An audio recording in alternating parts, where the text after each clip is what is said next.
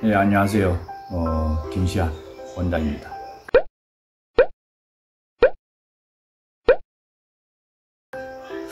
요즘에 이제 굉장히 날씨가 덥고요.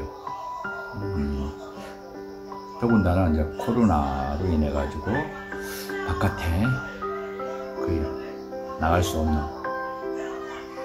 상황이 됐죠. 음, 저는 요즘에 새로운 어떤 관심이 생겨나줘서요. 어,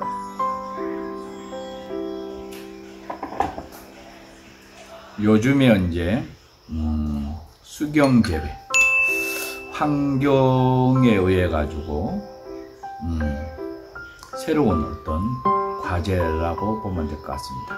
그래서 수경 재배에 이제 관심이 생겨 났습니다. 그래서 특히 이제 야생인 산야초로 어, 이용을 해서 수경 재배를 지금 음, 실험 중에 있습니다. 어, 산야초, 곰보배초,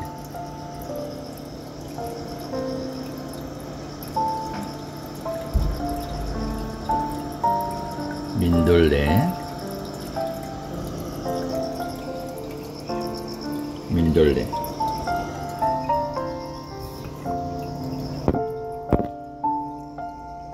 민들레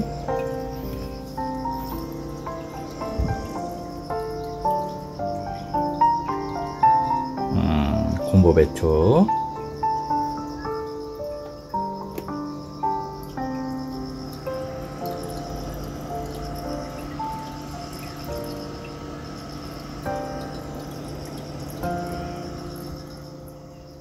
산야추 중에서 이제 특히 민들레, 왕꼬들빼기, 또 하나 이제 은건키, 곰보배추 어, 등으로 지금 음, 어, 수경 재배를 어, 실험 중에 있습니다.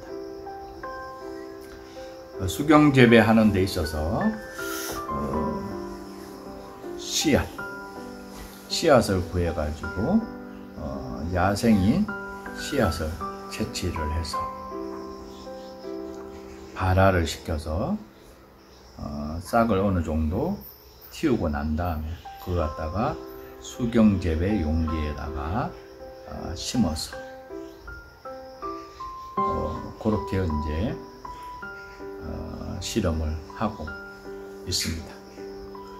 오늘 지금 살펴볼 재료는 음, 곰보배추하고 망고들빼기, 민들레를 갖다가 어, 살펴볼 수 있는 시간을 갖고자 합니다. 지금 요게 이제 수경 재배하는 어, 용기라고 보면 될 것 같습니다. 그리고요, 음, 요걸로 해서 이제 지금 어, 발화를 시켜서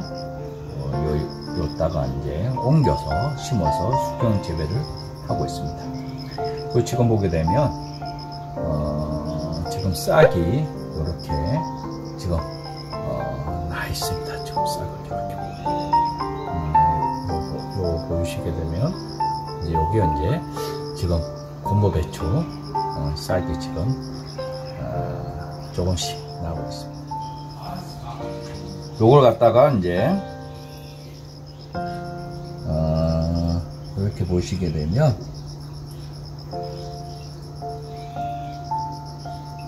보이시죠 그죠? 이렇게 옮겨서 지금 심었는데 요거 같은 경우에는 지금 어, 4일 정도가 됐습니다. 4일 정도 됐는데 이렇게 이제 싹이 점점 커지고 있고요. 음, 요게 왕꼬들빼기입니다 요게 왕꼬들빼기 지금 뿌리가 많이 내렸죠 그죠 어, 요게 지금은 이제 15일 16일 어, 15일이 넘어갔습니다 이렇게 그렇게 해서 이제 지금 뿌리가 왕성하게 지금 내려서 자라고 있습니다 지금 근데 요게 어, 요것이 지금 요렇게 크기까지가 3일, 4일째 됩니다. 이렇게. 아, 금방 싹이 나와가지고 이렇게 이제 어, 금방 자라고 있습니다. 요게 곰보배추입니다. 곰보배추. 어, 곰보배추도 이렇게 이제 아, 뿌리가 왕성하게 내렸습니다. 음, 곰보배추 아시죠, 그죠? 어, 기관지, 천식, 폐, 특효약이죠. 특히 이제 감기에 굉장히 좋은 재료이기도 합니다. 그래서 요즘에 이제 코로나 사태에서 기관지 천식폐 굉장히 우려가 있는데 이 곰보배추가 아, 주 좋은 재료이기도 합니다. 이게 민들레입니다. 민들레. 아, 민들레도 15일 정도가 됐는데 뿌리가 이렇게 왕성하게 자라고 있습니다. 그래서 이렇게 이제 어, 수경 재배를 해서 음, 산야초를 가지고서 어, 다양하게 어, 재배를 해봄으로써 음, 환경이 좋은 상태에서 어, 쌈 재료로 활용할 수가 있고 또한 어, 차 재료로도 활용할 수가 있을 것 같습니다. 그래서 환경이 오염됨으로써 음, 수경 재배를 어떻게 하느냐에 따라서 새로운 음, 사항들이 만들어질 것 같아서 저는 이제 어, 산야초로 이용을 해서 어, 야생인 것을 갖다가 수경 재배로 활용할 수 있는 방법을 어, 찾아보고자 해서 수경 재배를 어, 실험을 하고 있는 중에 있습니다. 앞으로 어, 다양한 어떤 산야초를 가지고서 수경 재배를 해서 이것을 제대로 활용할 수 있는 사항들을 어, 만들어 가고자 합니다. 보고자. 특히 제가 어, 가장 주목을 하고 있는 산야초는 은근키입니다. 은근키 같은 경우에는 간에 아주 좋은 재료이기도 합니다. 그래서 유럽에서는 은근키를 이용, 이용을 해서 신약을 굉장히 많이 만드는데 어, 우리나라 은근키가 더 효능들이 예, 각광을 받고 있습니다. 그래서 은근키를 가지고서 음,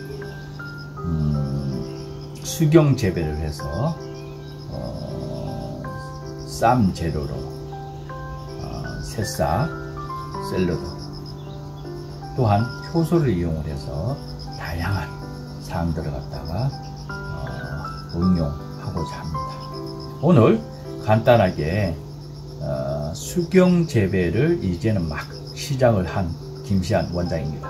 그래서 산나초를 가지고서 음, 살펴볼 수 있는 시간들을 어, 가져보았습니다.